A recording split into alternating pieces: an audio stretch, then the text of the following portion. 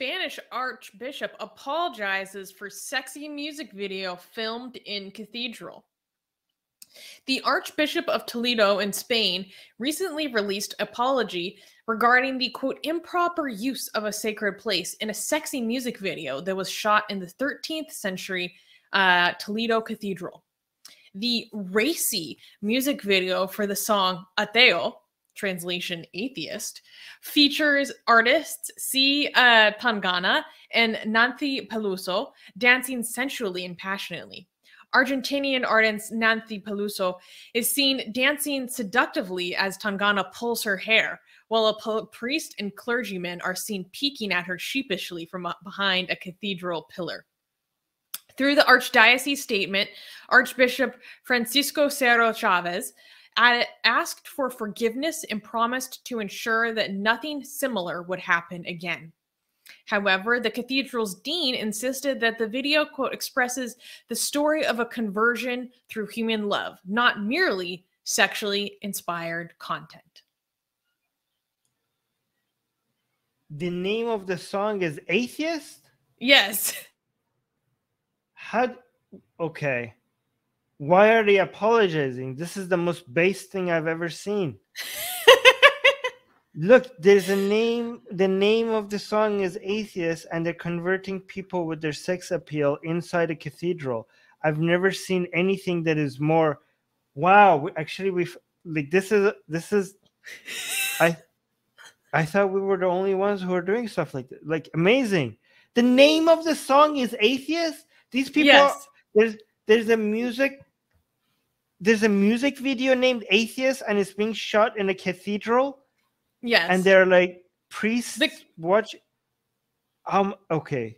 I don't know how to react to this. This is the most it's a really cool music video. So as you can see, we're playing it in the background, and it's it's very meta and self-aware. And the music video is actually about the outrage over the music video.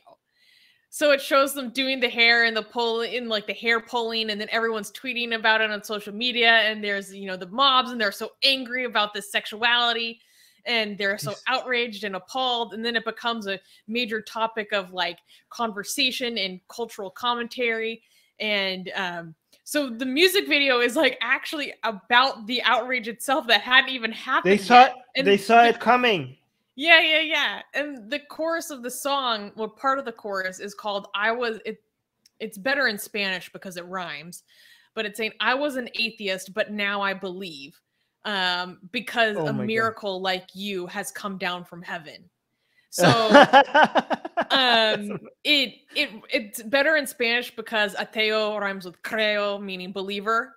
Um, oh. So it's saying I wasn't atheist, but now I'm a believer. But because it, it's saying like I I was I had no love, but like you you must you must be a miracle from heaven because now I believe in love again. I believe in the religion of love again, and because you're so like you turn me on and you tempt me, and it's really cool. As a, someone who grew up Catholic, I love the Catholic imagery so much. Um, so you see them dancing and doing bachata. I wish we could. Um, we would play the song, but we would get a copyright. Yeah, obviously we can't play the music. Um, yeah, but yeah. the the hair pulling in the music video, which like features heavy, heavily, is actually a reference to a painting that is, I believe, in the Cathedral of um, Toledo that is um, featured in the cover art of the music, and you'll see it towards the end in a second. But um it's the devil or like this little devilish creature like pulling this woman by her hair to like keep her from going into heaven. So it's like about um being tempted and like this devil is tempting you and the temptation is keeping you from heaven um hmm. but they're kind of like acting it out and they're dancing and being very sexy. Yeah see here you can see it see this like little devil oh, pulling on her oh, hair yeah. as she's trying to go into the grave. Um, mm. But then it's about like, because of you, I now believe in love. I love it. Guys, go check out the actual music video. Um, Why are they apologizing then? Given this that caused huge uh... controversy. Yeah. Good. That's it. wasn't that the point? Uh, causing, the, causing the controversy. Yes, but so what's kind of funny is this is like a hugely popular music video. Like now it's reached like 14 million views, I think. But okay, Um, then why are they apologizing? The whole point was they already saw this coming. Like, is this as the apology part of like the like the act? Okay, when we first published this, he ha- the archbishop was apologizing, right? The Mhm. update that Oh. happened recently is Oh, that sorry, he sorry. has actually performed a Catholic like we have sacraments for these things. Because of this, he had to perform a like sacramental act of penitence, Mm. like old school stuff. Wait, wait let, let me let me. I completely misunderstood. The, the the the people who are responsible for the music video they never apologized, right? No. It's, it's just the archbishop. Okay, okay. So yeah, of course he would apologize. Yeah, that's fine. But but nobody responsible, the like the artists themselves didn't apologize, right? Um, not that I'm aware of. They Good, good. paid to use the cathedral. And Yes. so it became this huge issue within the local archdiocese of how this was even allowed to happen. And um, the dean of the cathedral got in big trouble. In fact, he has since been fired. That's another Mm. update of the story is that he got fired for his role in this. And he was the one saying that he's like, I actually think this is like a positive music video because it's about becoming a believer again. And at the end it shows that they have a very amicable relationship with like the catholic church because it, it shows them at the very end there's like a final sequence where they like take these cute pictures with like altar boys. Um and it's about you know like the the the the the being converted to love and all this stuff. And so he's like, I'm not taking the dean of the cathedral was like, I'm not gonna take back my comments on this. Um, where he basically said he's like, I think that th- th- this isn't a bad thing, but um he uh did say that maybe it was his fault that it wasn't communicated to the archbishop that this was going to happen in this way and that there wasn't anyone from the church um who was there to watch the filming or something so they didn't actually know that it was going to be this this sensual. Um but I just love this. And then I, it wasn't until I was actually like going to go research and read about the story that I realized the name of the song was actually Atheist. I'm like, are you kidding me? you know this is um i i kind of a lot of people may be like oh they're well they're believers and they're like making the catholic i mean the way that this is being defended by like the the catholics by some catholics that is the process of secularization that i that i can get behind. Do you know what i mean? Like this is what the renaissance did um and then eventually led to the enlightenment the age of enlightenment right? Be- because you are it's not it's not reform which i'm against because reform keeps the core of the religion but gives it another look. Uh, but secularization attacks the core right and keeps the look keeps the aesthetics. So reform keeps the belief changes the aesthetics.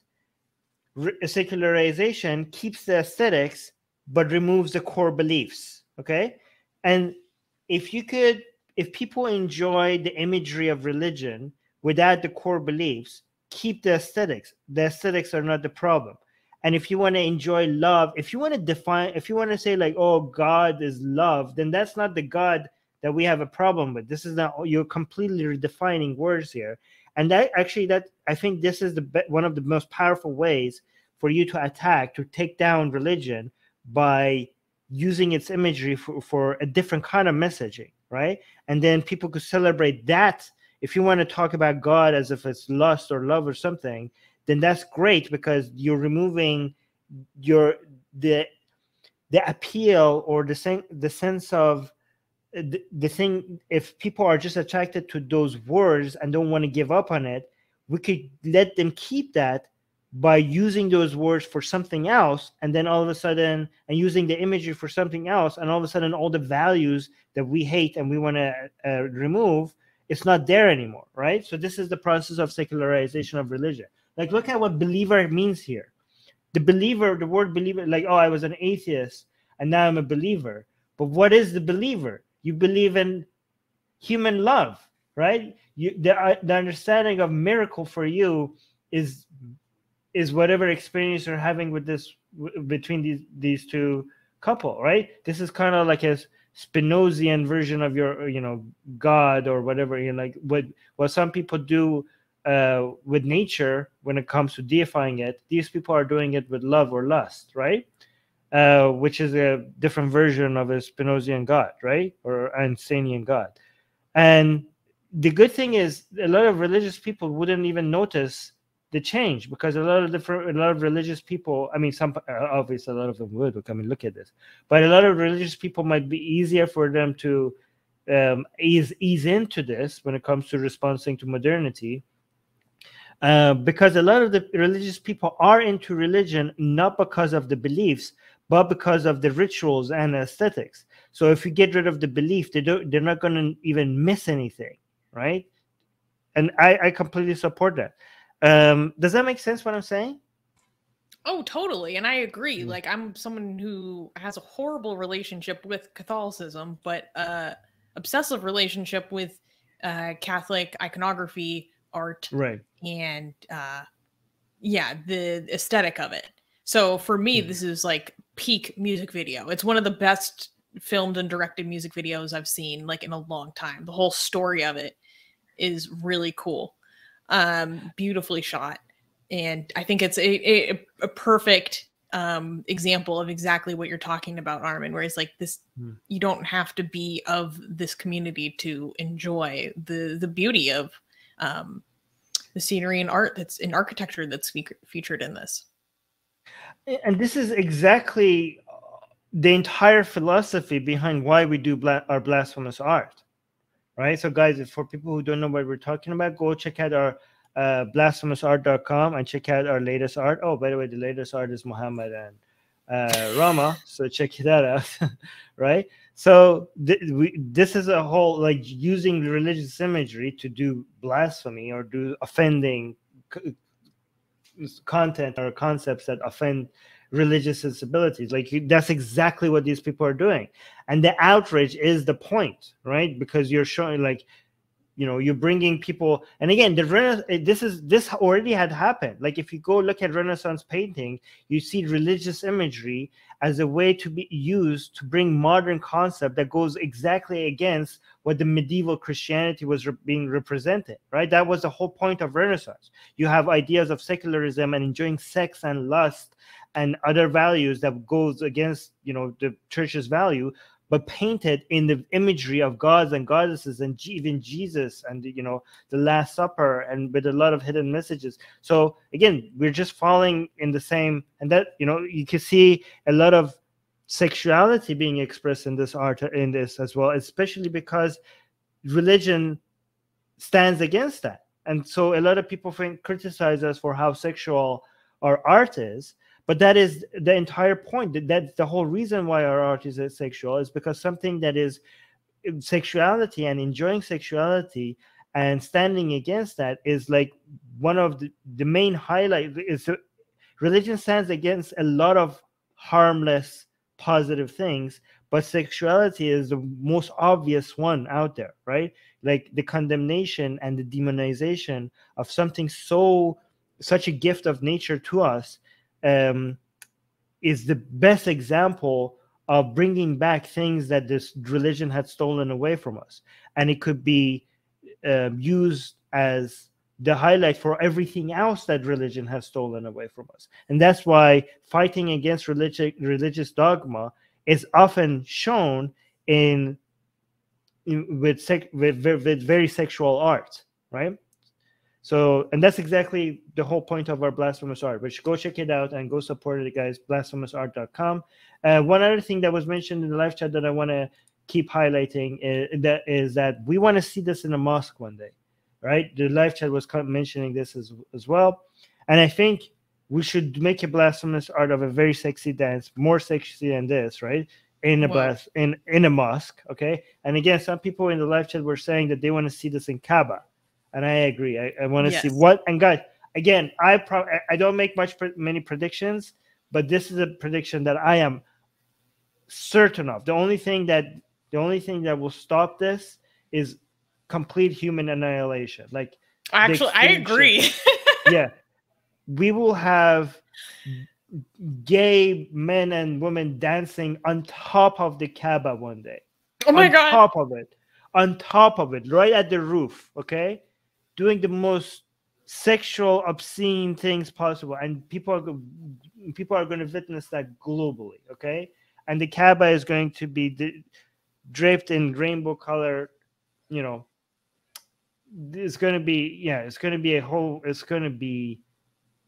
It's going to be beautiful. Like I, I am visualizing it right now.